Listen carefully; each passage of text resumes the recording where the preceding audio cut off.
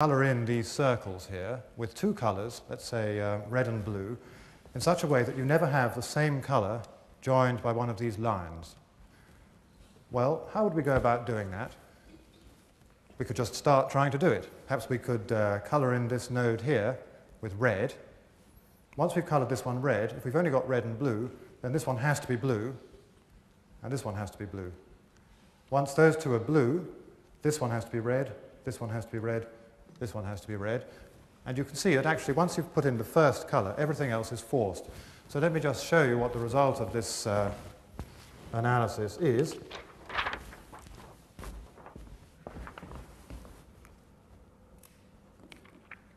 I can get it to fit.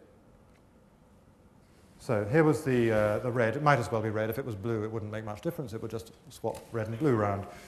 And so A was the first one we coloured in. Then we were forced to do these two Bs in blue. Then we were forced to do the C's in red again. And then we were forced to do these three Ds in blue. But once we've done that, we notice that we've got a blue next to a blue. And everything's gone wrong.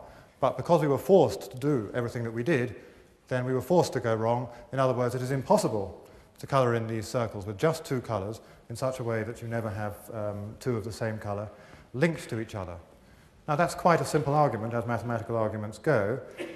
And um, what that translates into is that if you want to devise a computer program to solve this problem for you, when you say instead of having the 12 uh, nodes that I've got here, say you had 1,000 nodes and you'd be rather tedious to go through all this process, you can do it. And, um, well, I've written it for 100. If n, if n stands for the number of nodes, then roughly uh, n squared will be the number of uh, steps that this procedure takes.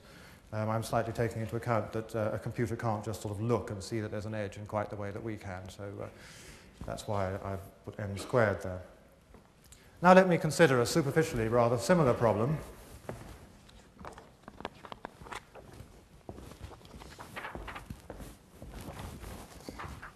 In fact, superficially very similar problem, because I'm going to put up another of these uh, networks. It's a little bit more complicated, perhaps.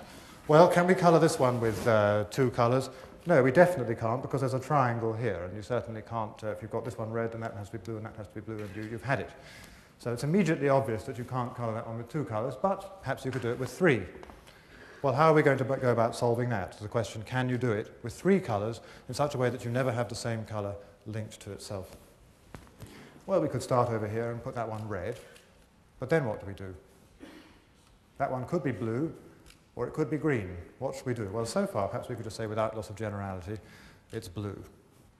And then here, well, that one could be green, or it could be red. And you can't say without loss of generality anymore, because this one's already red, so it sort of makes a difference whether it's red or blue, or at least it may make a difference. Now, if you try and do it by this sort of method, what you find is that you may well be able to fill in a few of them, and then somehow you get into trouble over here. You find that you can't uh, put the colours in. To get out of that trouble, it may well be that you can't just take one step back. You have to take sort of several steps back and maybe change something that you did right near the beginning. And it turns out that actually, well, I would like to say with great uh, certainty that uh, there is no way of doing it, um, or no sort of quick way of doing it. That's actually an unsolved problem, but there is no known quick way of doing it. What would be a slow way of doing it? A slow way of doing it would be just to try all possible colorings of three things. So every conceivable assignment of red, blue, and green to these nodes, and just see if you find one that happens to work. Well, I didn't do that, actually. Of course, I chose the colors first and then drew the uh, network. But uh, it can be done in this particular case. Uh, there is a coloring with red, blue, and green, and you never have, unless I've made an embarrassing mistake, you never have um, the same color linked to itself. Now, supposing you had 100 vertices and you did it by the uh, crude method that I described of just checking all possibilities, well, it would take of order 3 to the 100, and then each time you wanted to check it, you've got uh, 100 squared. Actually, I didn't put enough zeros on the end. It's an even bigger number than uh, I've done. There should be two more zeros. Uh, so that is, as I've written it, uh, 3 to the 100 times 100. It should be 3 to the 100 times 10,000. Now, uh, you don't have to be a great expert in computer science to know that if you've got that number of steps, then the uh, calculation is going to take too long. In fact, it would take too long even if you had the whole age of the universe to play with and every single atom of the universe at your service. Uh, it just can't be done. Now, what do computer scientists say about this? They want to distinguish between step-by-step procedures that are practical and step-by-step procedures that are not practical. And the convention is the following. If n is the size of the problem, which in this case might be the number of nodes, then a, a, a procedure is practical if it is no worse than a polynomial in n. So a polynomial is some expression like this, 100n to the 8 plus 73 n to the 6, some expression that looks a bit like that. Then the algorithm or the procedure counts as efficient, and if you can't say that there's some polynomial that uh, gives you a, an upper estimate on how long it takes, then you say that it's inefficient. Now, why is that uh, a good convention? Well, there are sound mathematical reasons for it, which I don't want to go into. What I want to point out here is that from a practical, a strictly practical point of view, it is not a good convention, because if you, e.g., had 100 uh, vertices and you took this particular polynomial, that is the number of steps you would need, and that is, although not as big as the number I had over there, is still a very, very big, rather impractically large number. So computer scientists, or at least some computer scientists, deal with, with algorithms that you might call practical in theory, but not practical in practice.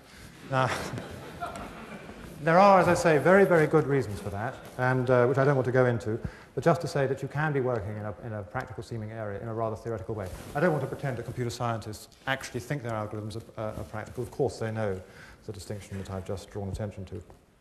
So to summarize what I've said so far, most mathematicians, including those who work in useful sounding branches of mathematics, do not work on problems with direct practical applications. It would be dishonest of me to argue for the importance of mathematics by trying to pretend that this was not so.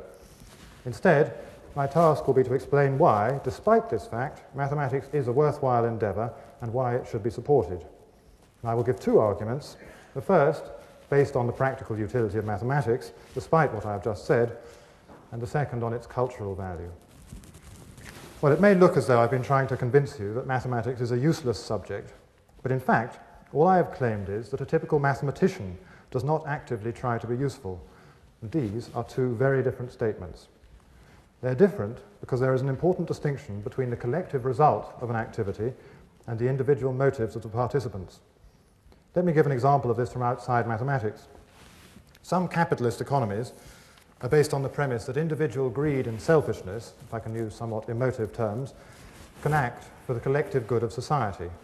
The greed causes people to strive to become wealthy, and this benefits the entire economy in many ways, such as increasing the tax revenue for the government, which can then be spent on hospitals, schools, public transport, and so on, or causing companies to be set up, which provide livelihoods for many people.